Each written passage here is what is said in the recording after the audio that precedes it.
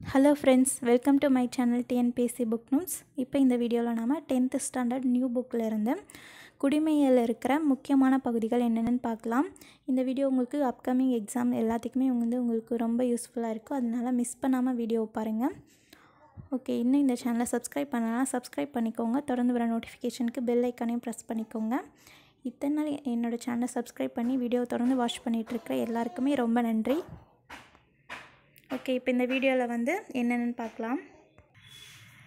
Okay first ஆயிரத்தி எழுநூற்றி எண்பத்தி ஒன்பதாம் ஆண்டு பிரெஞ்சு புரட்சியின் போது சுதந்திரம் சமத்துவம் சகோதரத்துவம் ஆகியன முக்கிய முழக்கங்களாயின.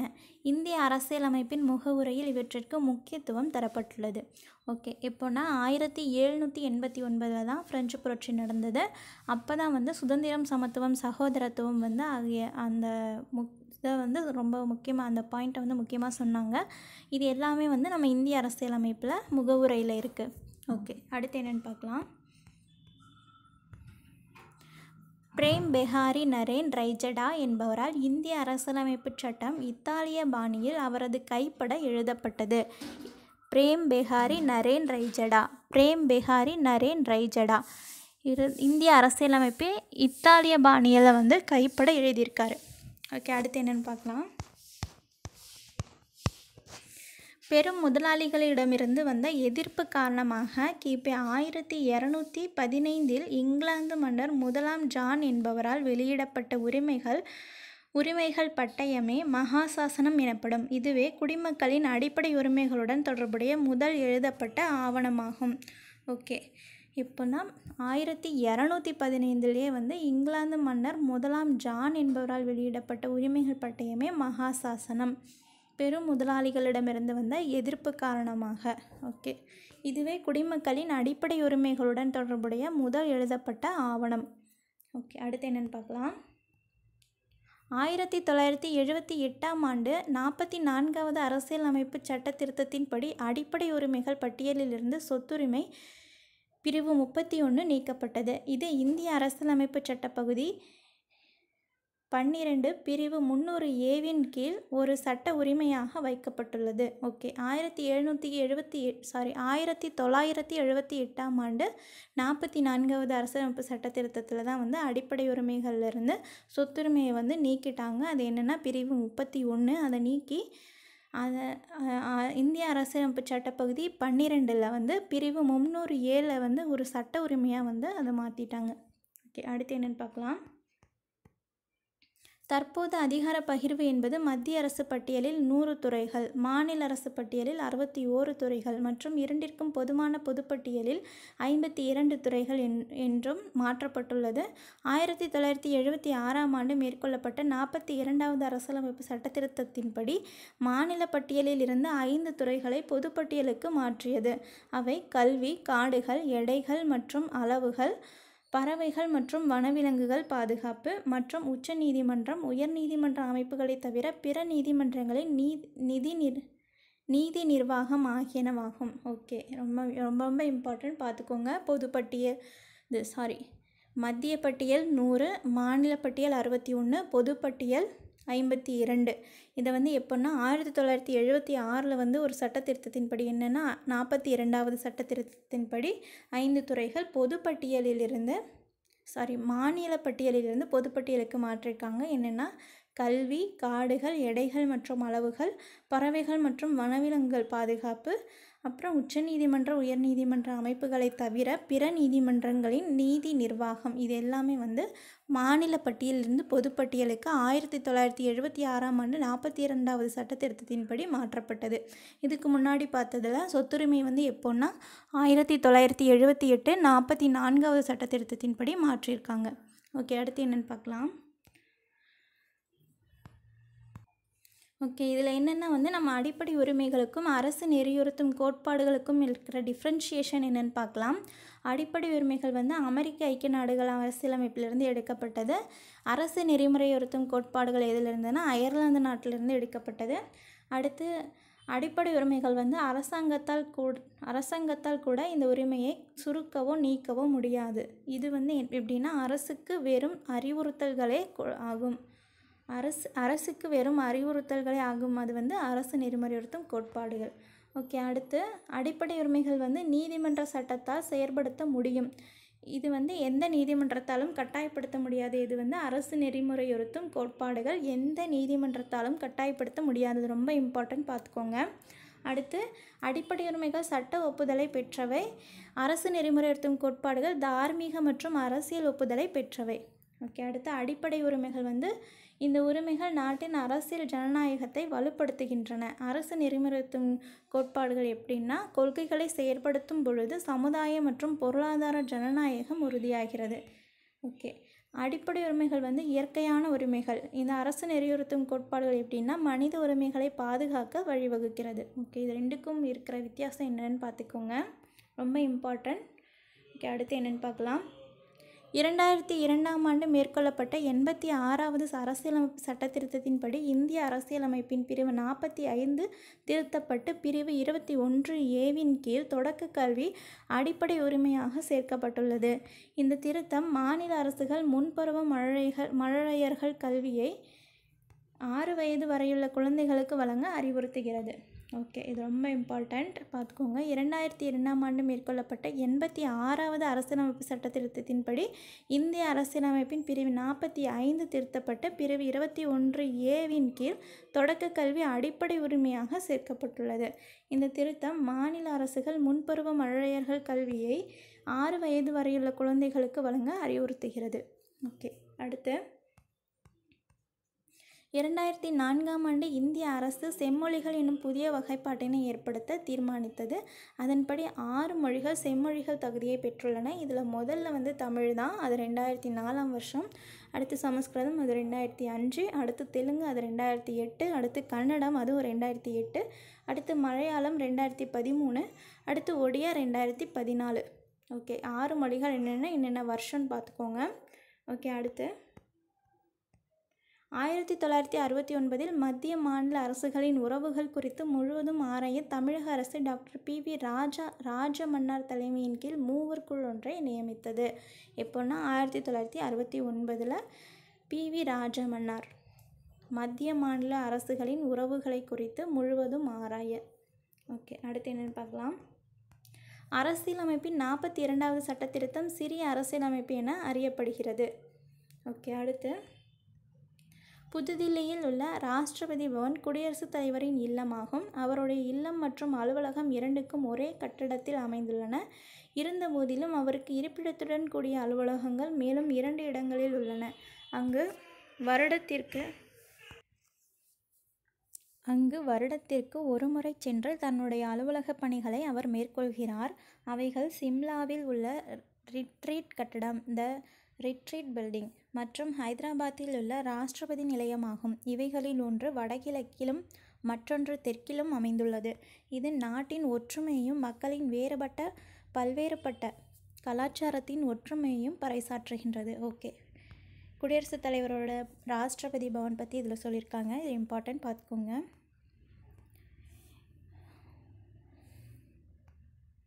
ஓகே. வந்து சிம்லாவில் உள்ள ரெட்ரீட் கட்டிடத்துலேயும் ஹைதராபாத்தில் உள்ள ராஷ்டிரபதி நிலையம். அது என்ன எந்த ஊரில் என்ன பேர் பில்டிங்கோட நேம் என்னன்னு பார்த்துக்கோங்க. அடுத்து இந்திய குடியரசுத் தலைவர்களின் பட்டியல் என்னென்னு பார்க்கலாம். திரு ராஜேந்திர பிரசாத் ஆயிரத்தி தொள்ளாயிரத்தி ஐம்பதுலேருந்து ஆயிரத்தி தொள்ளாயிரத்தி அறுபத்தி இரண்டு வரையும் அதாவது பன்னெண்டு வருஷம் இவர் வந்து குடியரசுத் தலைவராக இருந்திருக்காங்க. அவங்க தான் ஃபஸ்ட்டு குடியரசுத் தலைவர். அடுத்து ரெண்டாவது சர்வப்பள்ளி ராதாகிருஷ்ணன். ஆயிரத்தி தொள்ளாயிரத்தி அறுபத்தி ரெண்டுலேருந்து ஆயிரத்தி தொள்ளாயிரத்தி அறுபத்தி ஏழு வரை இருந்திருக்காரு. அடுத்து திரு ஜாகிர் ஹுசேன் இவர் வந்து ஆயிரத்தி தொள்ளாயிரத்தி அறுபத்தி ஏழு டு அறுபத்தி ஒன்பது ரெண்டு வருஷம் இருந்திருக்காரு. அடுத்து Thiru V V V Giri வந்து ஆயிரத்தி தொள்ளாயிரத்தி அறுபத்தி ஒன்பது டு ஆயிரத்தி தொள்ளாயிரத்தி எழுபத்தி நாலு வரை இருந்திருக்காங்க. இந்த ஆர்டர் வந்து கரெக்டாக ஞாபகம் வச்சுக்கோங்க. ஒன்று ரெண்டு மூணு அந்த மாதிரி. யார் யார் அடுத்துக்கு அடுத்து அடுத்தடுத்து அந்த வருஷம் அவங்க இருந்த வருஷம் என்னன்னு ஞாபகம் வச்சுக்கோங்க. இது ரொம்ப இம்பார்ட்டண்ட் எக்ஸாமில் வந்து பொறுத்துகளை கேட்பாங்க. அடுத்து திரு பக்ருதீன் அலி அகமத் ஆயிரத்தி தொள்ளாயிரத்தி எழுபத்தி நாலு டு ஆயிரத்தி தொள்ளாயிரத்தி எழுபத்தி ஏழு. அடுத்து திரு நீலம் சஞ்சீவி ரெட்டி ஆயிரத்தி தொள்ளாயிரத்தி எழுபத்தி ஏழு டு ஆயிரத்தி தொள்ளாயிரத்தி எண்பத்தி இரண்டு. அடுத்து திரு கியானி ஜெயில் சிங் ஆயிரத்தி தொள்ளாயிரத்தி எண்பத்தி இரண்டு டு ஆயிரத்தி தொள்ளாயிரத்தி எண்பத்தி ஏழு. அடுத்து திரு ஆர் வெங்கட்ராமன் ஆயிரத்தி தொள்ளாயிரத்தி எண்பத்தி ஏழு டு ஆயிரத்தி தொள்ளாயிரத்தி தொண்ணூற்றி இரண்டு. அடுத்து திரு சங்கர் தயாள் சர்மா ஆயிரத்தி தொள்ளாயிரத்தி தொண்ணூற்றி இரண்டு டு ஆயிரத்தி தொள்ளாயிரத்தி தொண்ணூற்றி ஏழு. அடுத்து திரு கே ஆர் நாராயணன் ஆயிரத்தி தொள்ளாயிரத்தி தொண்ணூற்றி ஏழு டு ரெண்டாயிரத்தி இரண்டு. அடுத்து திரு ஏபிஜே அப்துல் கலாம் ரெண்டாயிரத்தி ரெண்டு டு ரெண்டாயிரத்தி ஏழு. அடுத்து திருமதி பிரதீபா பாட்டீல் ரெண்டாயிரத்தி ஏழு டு ரெண்டாயிரத்தி பன்னெண்டு. அடுத்து திரு பிரணாப் முகர்ஜி ரெண்டாயிரத்தி பன்னெண்டு டு ரெண்டாயிரத்தி பதினேழு. அப்புறம் இப்போ இருக்கிறவர் திரு ராம்நாத் கோவிந்த் அவர்கள் ரெண்டாயிரத்தி பதினேழுலேருந்து அவர் குடியரசுத் தலைவராக இருந்துட்டு வராரு. ஓகே. இப்போ இதுவரையும் பதினாலு குடியரசுத் தலைவர்கள் வந்து இருந்திருக்காங்க. என்னென்னு எல்லாம் ஞாபகம் வச்சுக்கோங்க. அடுத்து என்னென்னு பார்க்கலாம். கேரளா மற்றும் பஞ்சாப் மாநிலங்களில் அதிகபட்சமாக ஒன்பது முறை குடியரசுத் தலைவராட்சி நடைமுறைப்படுத்தப்பட்டுள்ளது. இது இம்பார்ட்டண்ட் கேரளா மற்றும் பஞ்சாப் மாநிலங்களில் ஒன்பது முறை குடியரசுத் தலைவர் ஆட்சி நடைமுறைப்படுத்தப்பட்டுள்ளது. அடுத்து குடியரசுத் தலைவர் மற்றும் துணை குடியரசுத் தலைவர் பதவிகள் ஒரே சமயத்தில் காலியாக இருக்கும் பட்சத்தில் உச்சநீதிமன்ற தலைமை நீதிபதி குடியரசுத் தலைவரின் பணிகளை செயலாற்றுவார். ஆயிரத்தி தொள்ளாயிரத்தி அறுபத்தி ஒன்பதாம் ஆண்டு இத்தகைய ஒரு நிகழ்வின் போது உச்சநீதிமன்ற தலைமை நீதிபதி எம். ஹிதய ஹிதயதுல்லா குடியரசுத் தலைவராக நியமிக்கப்பட்டார். ஆயிரத்தி தொள்ளாயிரத்தி அறுபத்தி ஒன்பதில் இந்த மாதிரி ஒரு சுச்சுவேஷனில் உச்சநீதிமன்ற தலைமை நீதிபதியான எம். ஹிதயதுல்லா. அவரோட பேர் என்ன வருஷம்? அது ஞாபகம் வச்சுக்கோங்க. அடுத்து என்னென்னு பார்க்கலாம். அடுத்து இந்திய பிரதமர்களின் பட்டியல். ஓகே ஃபஸ்ட்டு வந்து ஜவஹர்லால் நேரு ஆயிரத்தி தொள்ளாயிரத்தி நாற்பத்தி ஏழு டு அறுபத்தி நாலு வரை இருந்திருக்காங்க. அடுத்து லால் பகதூர் சாஸ்திரி ஆயிரத்தி தொள்ளாயிரத்தி அறுபத்தி நாலு டு அறுபத்தி ஆறு வரை இருந்திருக்காரு. அடுத்து திருமதி இந்திரா காந்தி அறுபத்தி ஆறு டு எழுபத்தி ஏழு வரை இருந்திருக்காங்க. அடுத்து மொரார்ஜி தேசாய் எழுபத்தி ஏழு டு எழுபத்தொன்பது. அடுத்து சரண் சிங் வந்து தொன் சாரி எழுபத்தி ஒன்பது டு எண்பது வரை இருந்திருக்காங்க. அடுத்து திரு மறுபடியும் திருமதி இந்திரா காந்தி வந்து ஆயிரத்தி தொள்ளாயிரத்தி எண்பது டு எண்பத்தி நாலு வரை இருந்திருக்காங்க. அடுத்து திரு ராஜீவ் காந்தி எண்பது டு எண்பத்தொன்பது. அடுத்து திரு விபி சிங் அவர்கள் எண்பத்தி ஒன்பது எண்பத்தி ஒன்பது டு தொண்ணூறு வரை இருந்திருக்காங்க. அடுத்து சந்திரசேகர் வந்து தொண்ணூறு டு தொண்ணூற்றி ஒன்று வரையும். அடுத்து பிவி நரசிம்மராவ் தொண்ணூற்றி ஒன்று டு தொண்ணூற்றி ஆறு வரையும் இருந்திருக்காங்க. அடுத்து அடல் பிஹாரி வாஜ்பாய் மே ஆயிரத்தி தொள்ளாயிரத்தி தொண்ணூற்றி ஆறு. அடுத்து திருட்டி தேவகவுடா ஆயிரத்தி தொள்ளாயிரத்தி தொண்ணூற்றி ஆறு தொண் தொண்ணூற்றி ஆறு டு தொண்ணூற்றி ஏழு வரையும் இருந்திருக்காங்க. அடுத்து ஐகே குஜ்ரால் வந்து ஆயிரத்தி தொள்ளாயிரத்தி தொண்ணூற்றி ஏழு டு தொண்ணூற்றி எட்டு வரையும் இருந்திருக்காங்க. அடுத்து திருப்பியும் அடல் பிஹாரி வாஜ்பாய் வந்து தொண்ணூற்றி எட்டு டு ரெண்டாயிரத்தி நாலு வரையும் இருந்திருக்காங்க. அடுத்து திரு மன்மோகன் சிங் அவர்கள் ரெண்டாயிரத்தி நாலு டு ரெண்டாயிரத்தி பதினாலு வரையும் இருந்திருக்காங்க. அடுத்து நரேந்திர மோடி இப்போ இருக்கிறவர். ரெண்டாயிரத்தி பதினாலிருந்து அவர் தான் இப்போ பிரதம அமைச்சராக இருந்திருக்காங்க. மொத்தம் பதினாறு பிரதம அமைச்சர்கள் இருந்திருக்காங்க. என்னென்னு பார்த்துக்கோங்க. ஓகே அடுத்து என்னென்னு பார்க்கலாம். முடிவு வாக்கு. Casting vote. மாநிலங்களவையில் சட்ட மசோதாவின் மீது நடைபெற்ற வாக்கெடுப்பு சமநிலையில் இருக்கும் பட்சத்தில் அரசியலமைப்பு சட்டப்பிரிவு நூறின் படி துணை குடியரசுத் தலைவர் வாக்களிக்கலாம்.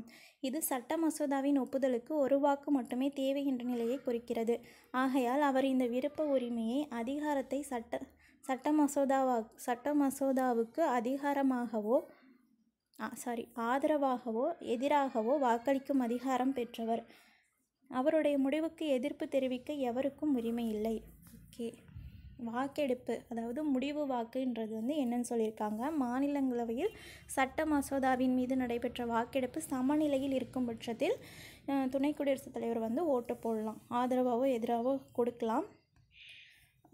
அந்த மாதிரி அவர் ஓட்டு போடுறத வந்து எந் யாரும் வந்து எதிர்த்து வந்து தெ- எதிர்ப்பு தெரிவிக்க முடியாது. இது வந்து என்ன அரசியலமைப்பு சட்டப்பிரிவுனா நூறின் படி. இந்த அரசியலமைப்பு சட்டப்பிரிவு என்னன்னு ஞாபகம் வச்சுக்கோங்க. நூறின் படி.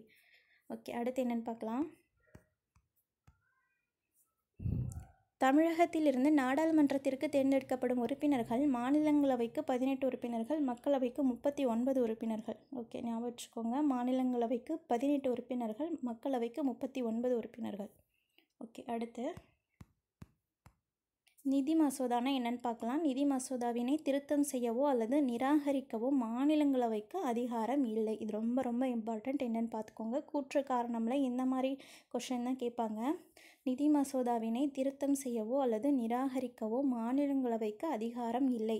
மக்களவையில் மட்டுமே நிதி மசோதாவினை அறிமுகப்படுத்த முடியும். இம்மசோதா மாநிலங்களவையின் ஒப்புதலுடன் சட்டமாக மாறும்.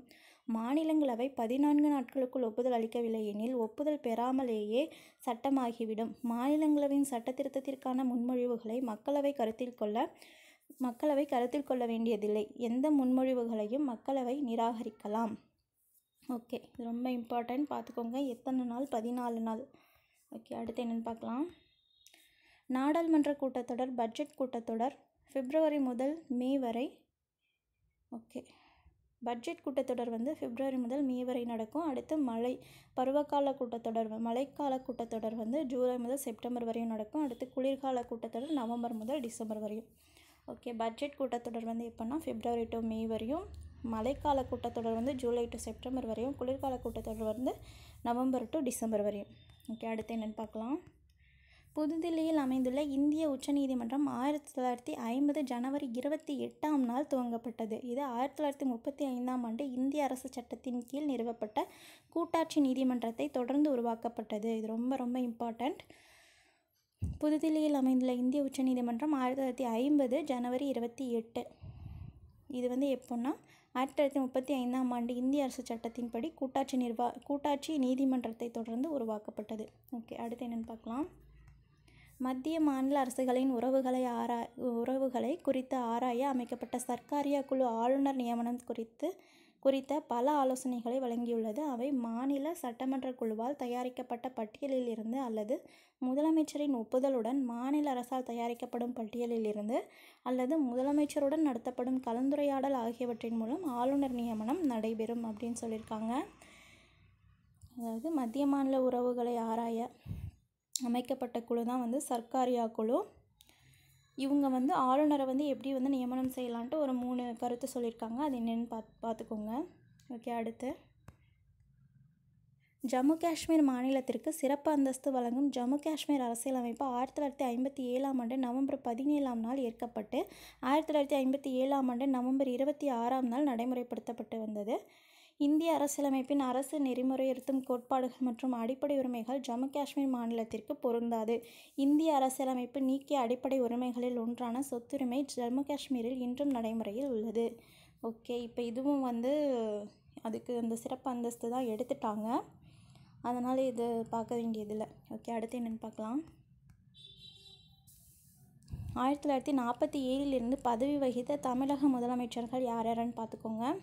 ஓபி ராமசாமி ஆயிரத்தி தொள்ளாயிரத்தி நாற்பத்தி ஏழு டு நாற்பத்தி ஒன்பது வரையும் அடுத்து குமாரசாமி ராஜா ஆயிரத்தி தொள்ளாயிரத்தி நாற்பத்தி ஒன்பது டு ஐம்பத்தி இரண்டு வரையும் ராஜகோபாலாச்சாரி ஐம்பத்தி ரெண்டு டு ஐம்பத்தி நாலு வரையும் காமராஜர் ஐம்பத்தி நாலு டு அறுபத்தி மூணு வரையும் பக்தவட்சலம் அறுபத்தி மூணு டு அறுபத்தி ஏழு அடுத்து அண்ணாதுரை அறுபத்தி ஏழு டு அறுபத்தொன்பது அடுத்து கருணாநிதி அறுபத்தொன்பது டு எழுபத்தி ஆறு அடுத்து ராமச்சந்திரன் எழுபத்தி ஏழு டு எண்பத்தி ஏழு எம்ஜி ராமச்சந்திரன் எழுபத்தி ஏழு டு எண்பத்தி ஏழு அடுத்து திருமதி ரா ஜானகி ராமச்சந்திரன் ஜனவரி ஆயிரத்தி தொள்ளாயிரத்தி எண்பத்தி எட்டு அடுத்து திரு எம். கருணாநிதி அவர்கள் ஆயிரத்தி தொள்ளாயிரத்தி எண்பத்தி ஒன்பது டு ஆயிரத்தி தொள்ளாயிரத்தி தொண்ணூற்றி ஒன்று அடுத்து ஜெயலலிதா அவர்கள் தொண்ணூற்றி ஒன்று டு தொண்ணூற்றி ஆறு அடுத்து திரு கருணாநிதி தொண்ணூற்றி ஆறு டு ரெண்டாயிரத்தி ஒன்று வரையும் அடுத்து திருப்பி செல்வி ஜெய ஜெயலலிதா ரெண்டாயிரத்தி ஒன்று இருந்திருக்காங்க அடுத்து பன்னீர்செல்வம் வந்து ரெண்டாயிரத்தி ஒன்று டு ரெண்டாயிரத்தி இரண்டு வரை இருந்திருக்காரு அடுத்தும் திருப்பி செல்வி ஜெய ஜெயலலிதா அவர்கள் ரெண்டாயிரத்தி ரெண்டு டு ரெண்டாயிரத்தி ஆறு வரை இருந்திருக்காங்க. அடுத்து திரு எம் கருணாநிதி ரெண்டாயிரத்தி ஆறு டு ரெண்டாயிரத்தி பதினொன்று வரையும். அடுத்து ஜெயலலிதா அவர்கள் ரெண்டாயிரத்தி பதினொன்று டு பதினாலு திருப்பி ஓ பன்னீர்செல்வம் பதினாலு டு பதினஞ்சு திருப்பி ஜெயலலிதா அவர்கள் பதினஞ்சு டு பதினாறு அடுத்து பன்னீர்செல்வம் பதினாறு டு பதினேழு அடுத்து இப்போ இருக்கிறவர் திரு எடப்பாடி கே பழனிசாமி ரெண்டாயிரத்தி பதினேழுலேருந்து இருந்திருக்காங்க. ஓகே யார் யார் எந்தெந்த வருஷன்ட்டு பார்த்துக்கோங்க. ஆர்டர் மாறாமல் பார்த்துக்கோங்க. ஓகே அடுத்து என்னென்னு பார்க்கலாம்.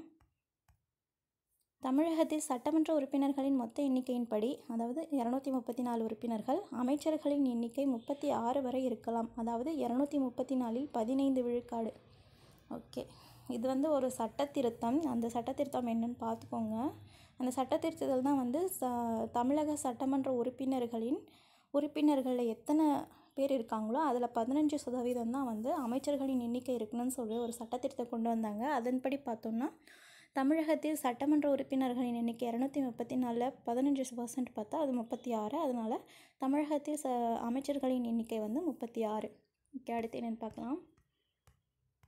ஆயிரத்தி தொள்ளாயிரத்தி எண்பத்தி ஆறில் இயற்றப்பட்ட தமிழ்நாடு சட்ட மேலவை நீக்கம் மசோதா மூலம் தமிழ்நாட்டில் சட்ட மேலவை நீக்கப்பட்டது. இச்சட்டம் ஆயிரத்தி தொள்ளாயிரத்தி எண்பத்தி ஆறு நவம்பர் முதல் நாலு நவம்பர் முதல் நாள் நவம்பர் ஒன்றிலிருந்து நடைமுறைக்கு வந்தது.